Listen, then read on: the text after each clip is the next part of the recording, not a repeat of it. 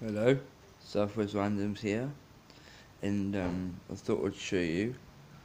This is my now finished matchstick box that I've made.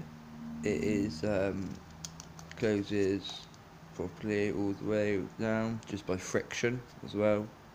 Really shiny, as you can see.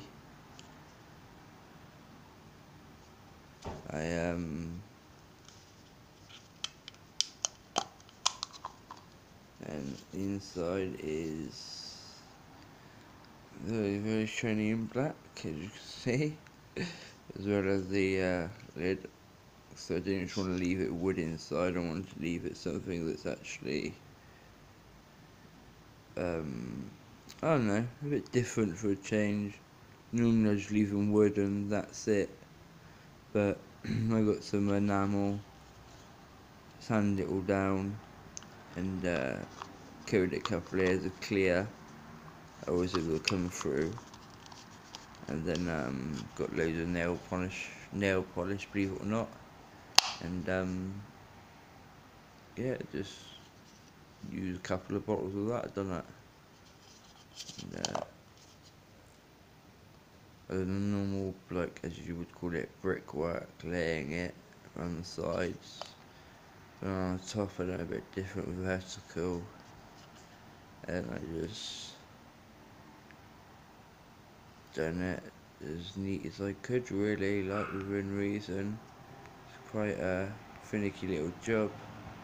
This box is quite big you can see my hand. Decent sized box. Um, it was a box uh, I got this uh, cardboard box what I did covered it in cellophane then use that as the main structure done all the sides around so the box out then the top and the bottom split it and yeah that's it.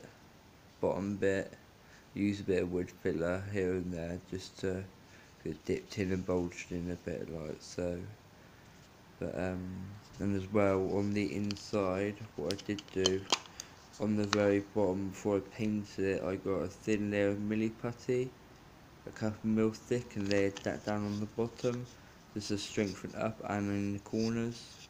Um, as well as obviously those little grooves there and there up it all the way down so that's actually strengthening the um, box as well.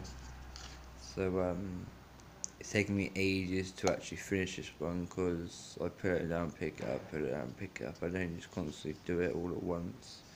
But um, I'm going to try and actually get some of them so I actually video me doing them for you guys. Um, I've got a couple more in the making that I'm doing in a minute. Um, and then uh, with different techniques. So uh, subscribe and whack the notification bell on and you'll be able to see when I upload stuff. You can see in the background I've been working on a big box.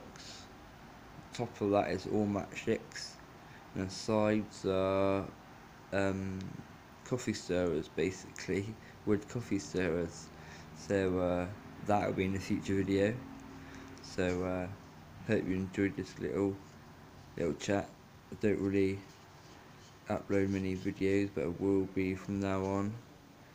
I uh, going to do at least one or two a week from now on hopefully. Um, if you want me to make anything? Let me know.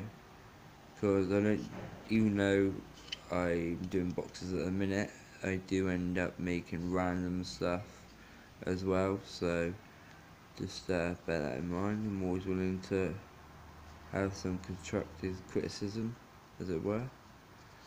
Um, that little black one there, dark one, is actually a coincidence that happened.